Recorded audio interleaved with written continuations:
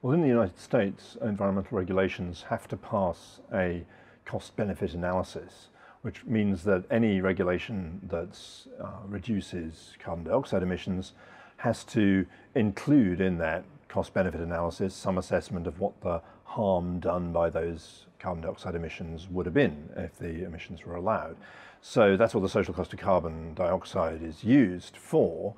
And um, clearly, if that were reduced substantially or set to zero, as some members of the uh, transition team have suggested it might be, um, that would have a profound impact on environmental regulations in the US.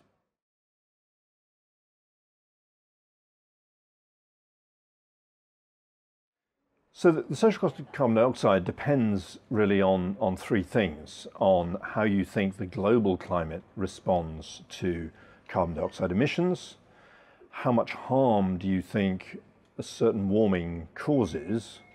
And finally, how much weight you give to impacts on future generations compared to impacts on the present generation. All three of these things matter. Um, and if you accept the mainstream view that uh, carbon dioxide does indeed cause some global warming, if you're going to argue that nevertheless the social cost of carbon Uh, the social cost of carbon dioxide is relatively low. This is typically the sort of lukewarmist position, which is yes, you know, carbon dioxide causes climate change, causes global warming, but no, it, it's not really worth doing anything about it because the cost is so low. You really need to do one of two things. You need to either argue that carbon that a warming of two or three degrees would be net harmless, and so that's a, a pretty strong position to take. It, it is actually something that was implied by one of the major integrated assessment models that was used in the calculation of the social cost of carbon, um, but it is actually about 10 years out of date because it was discovered that there was actually a bug in the model that gave this rather counterintuitive result. And in fact, when you sort of remove the bugs, um, the, the, the, the, modern opinion is uh, just as you would expect intuitively, um, global warming does cause harm and it causes more harm the higher temperatures get. So people are already perceiving some harm from climate change today. And as we go from one degree of warming today to two or three degrees of warming in the future, those harms will accelerate. So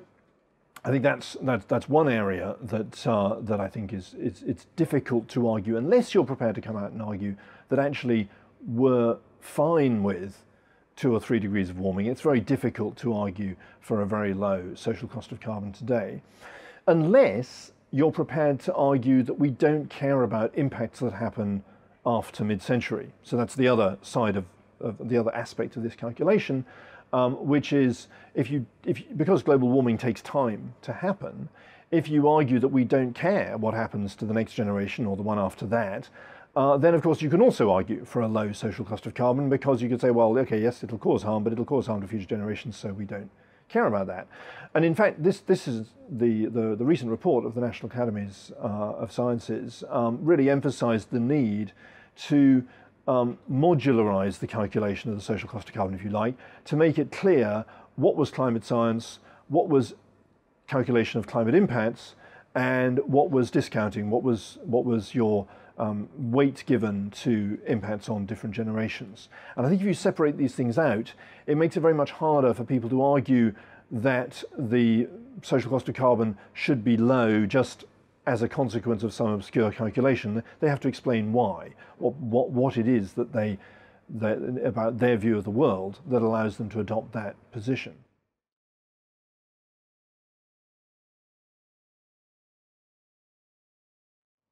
Crucially, in a, in a paper we published uh, a few years ago, we showed that the um, equilibrium climate sensitivity, which is such a, such a controversial parameter and nobody can ever quite agree on what value it ought to have, is actually much less important for the social cost of carbon dioxide than the so-called transient climate response, uh, which is the warming we get at the time we reach uh, doubled CO2 rather than the warming we eventually equilibrate at after many centuries um, at doubled CO2 concentrations.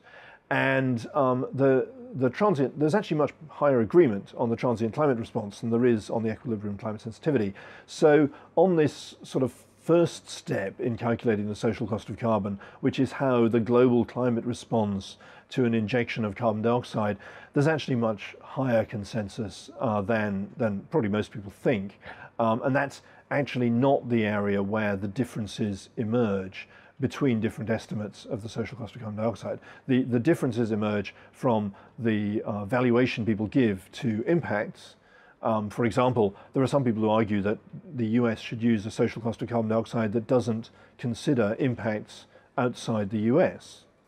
If you stop and think about this, you realize that in that case, why shouldn't Texas use a value of social cost of carbon dioxide that doesn't value impacts outside of Texas, and it sort of rapidly unravels because, of course, Liechtenstein would then have an extremely low social cost of carbon dioxide. So, you know, th there's a sort of intellectual coherence problem with that line, but nevertheless, that is a line that's being taken. That obviously has a much bigger impact on your numerical value you give to the social cost of carbon dioxide than any um, debate about what the transient climate response is, uh, which is broadly, broadly speaking, most, most people, including the uh, climate change, uh, cri the critics of the Intergovernmental Panel of Climate Change, broadly agree on the range of uncertainty in the transient climate response.